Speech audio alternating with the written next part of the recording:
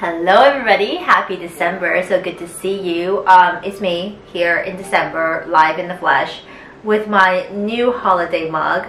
I'm usually not super into like, you know, over decorating and being overly festive. Granted, my tree is up here. Um, I was I was gonna have it in the shot and feel all festive, but I wasn't sure how to place it with this like really pointy bit that felt a little awkward.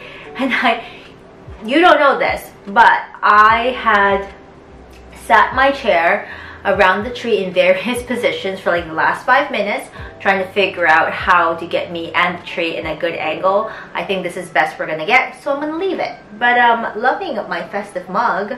Thank you, the Real Canadian Superstore.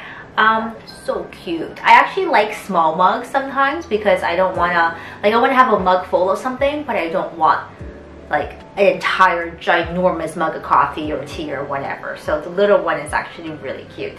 But our job for today is to talk a bit about one of my latest DIY refashions. Now, refashion is something I've I've had a few people ask me about over the years to you know try out on my channel, and I never took that step because I I don't really refashion a lot.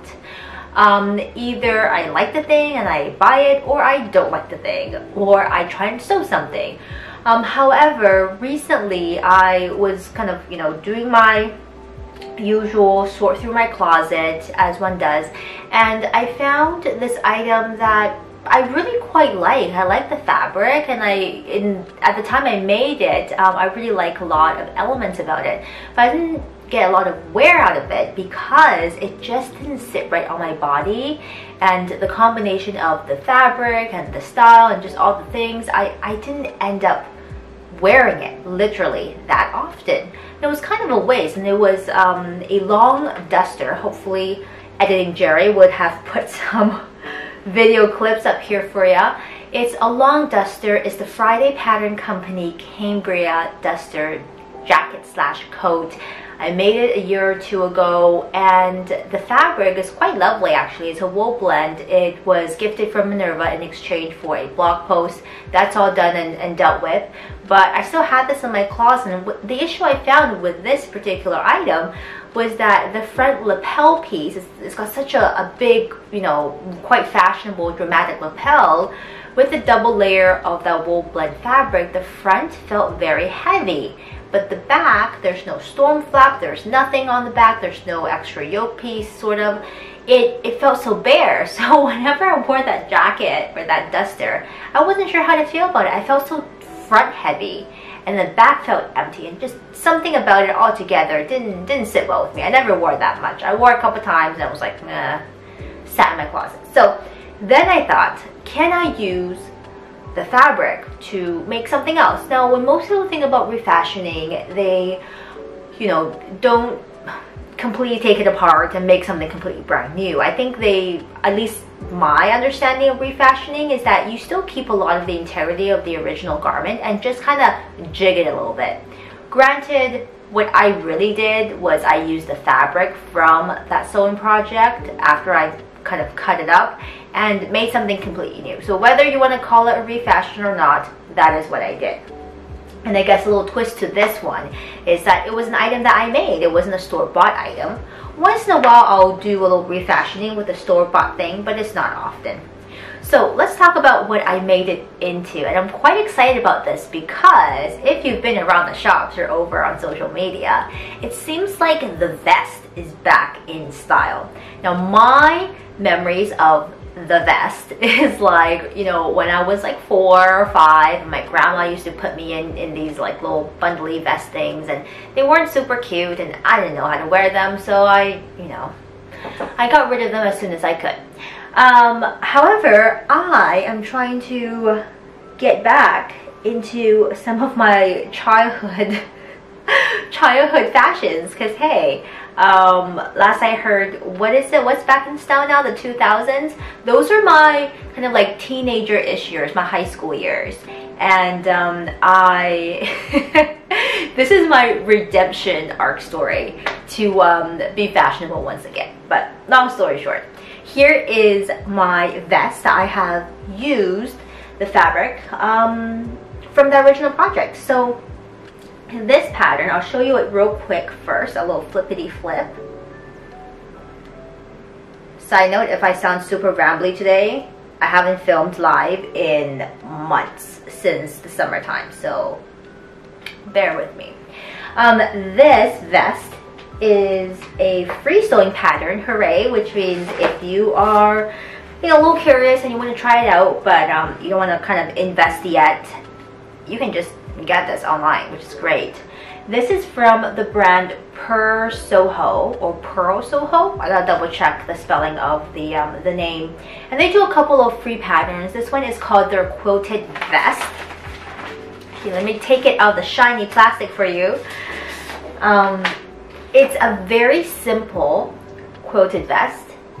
It has a lining, it has snap buttons, it has binding around the sides, and I had debated between using this pattern and another longer sleeveless vest coat, waistcoat thing.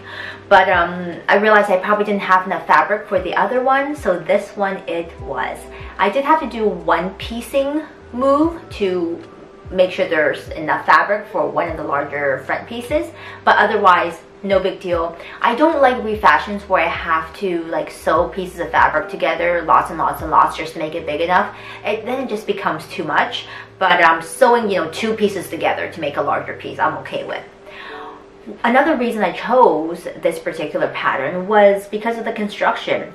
You actually quilt all the pieces first and then you bind it together. So you don't have to do any like flippy, churny thingy bobbles. Um, you just kind of like work with the pieces quite quite easily and machine quilting fast straightforward actually strangely therapeutic on the days on work days when i don't have the energy like literally to you know, problem solve with my brain. I just draw my straight lines and I just like slam it through the sewing machine and it comes out like cute little diamond quilting.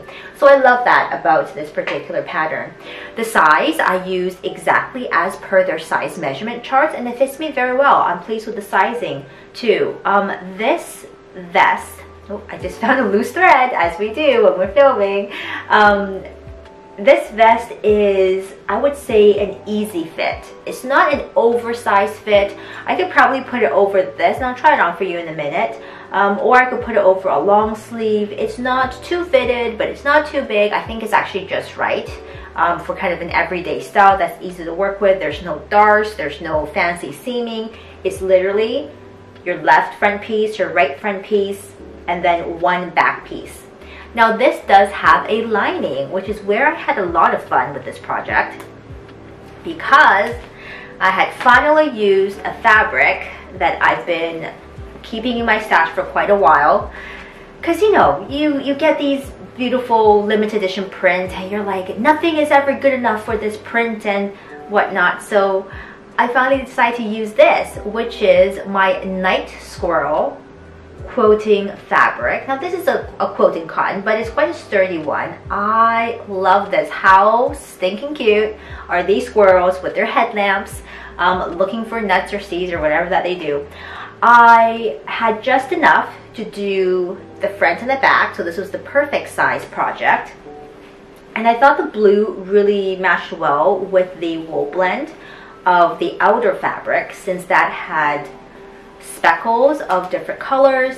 And then I decided to finish it off with a binding that was almost like a, what do you call this? A teal, a dusty teal color. I've been really into the dusty teal lately. This project was, wasn't hard, but it was time consuming because of the quilting. And then for me, I did a little something different than the original instructions. I decided to use a knit bias tape or knit, yeah, a knit binding tape, bias tape around all the edges.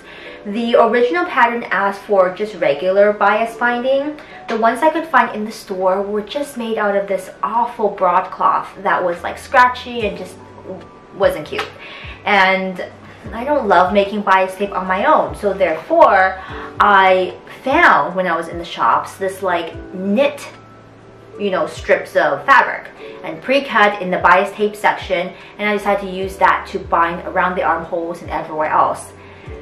To make it super neat, I had to hand finish around all the edges like when you folded it over I did hand stitch it and that took the most amount of time other than just simply quilting your fabric um, but otherwise it was so like it wasn't a hard project. I think it's one that even beginners could really approach and feel super successful with. In terms of things I would do differently I really had a bit of a hum and aha moment about these snaps. I bought these extra large snaps for the front closures because I didn't feel comfortable doing buttonholes. I've done them before, I don't love them. Still need loads of practice and I thought snaps would be good. But then I realized if I were to sew on the snaps, I need to sew it all the way through to the front side of the fabric. But then I didn't want that either because then my, my, um, my stitches would show. So I don't feel like my snaps are super sturdy when I open and close them because they're really just attached to a little bit of batting in the middle and the inner fabric. Um, so I gotta figure that out if I remake this again. Actually, I, I am actually looking forward to remaking this again. I think this will be nice in um, various versions. Good to wear around the house or if this is your going out type of everyday fashion, I think this is quite cute to wear out as well with a little bit of tweaking for detailing. I love the little pockets. They aren't super deep, but you can hide some candies or mint or whatever that you do in your pockets. Um, Band-aids, whatnot, tissues. Um, I think overall this was a really successful refashion. The only piece I had to combine together was there's an extra seam here since I didn't have enough fabric for the front pieces. Some of the things I learned from doing this, and again, this is one of my first refashions where I really took apart that original Cambria duster. The whole um, seam ripper thing, no. I literally just took my scissors and cut out the seams. I knew I had just about enough fabric to make it work and it wouldn't take away from too much fabric. If I were to unpick it with a seam ripper, this would have taken forever and I would have been frustrated and it would not have been worthwhile. So I just cut open the seams and just rough cut around those pieces and actually that worked just fine. If you know you have enough fabric, that's probably the easiest and quickest way to go. Um, the fun lining of this vest really makes me smile whenever I wear it. Like I know I'm wearing night squirrels with headlamps and that just makes me giggle and, and just, you know, bring a little bit of joy into my life. So I love that too. It's a great way to showcase and use those kitschy, fun quilting cottons, whereas they may not um, be thick enough or the right type for a standalone outer project. Using them as linings is, is really quite fun. I loved the idea of discovering this knit um, binding. I went back and bought a whole bunch of them in different colors for other projects. I know the hand stitching takes a while, but it's so much easier and, and to go around the curves, the little bit of stretch in the binding is great. Um, it just was so much easier to work with. Maybe one day I'll get on with making my own bias tape with nicer fabric, but for now, I'm all about this knit binding. In terms of the tricky parts, the only tricky part I really found with this was the curve right here. There's quite a significant curve around the sides. And if I were to make this again, I would probably ease this curve so it's not so dramatically this way because this was quite hard to sew um, around the edge there and to really stretch the bias binding. Otherwise, I'm super happy with this project and I would recommend that you give this a go beginner friendly but has a really beautiful um, finish and lots of opportunity for creative tweaking and changing up the, the original design. I hope that you enjoyed my little talk about this DIY refashion. I do have a couple of H&M sweatshirts that I've worn for a while with the intention of refashioning them just to make it a little bit more friendly for my body type. I bought them in the men's section because they were super cheap and very nice and very cute colors. If you want to see that, let me know down below as well. And um, I will see you again next time. Take care, everybody. Happy December. Bye.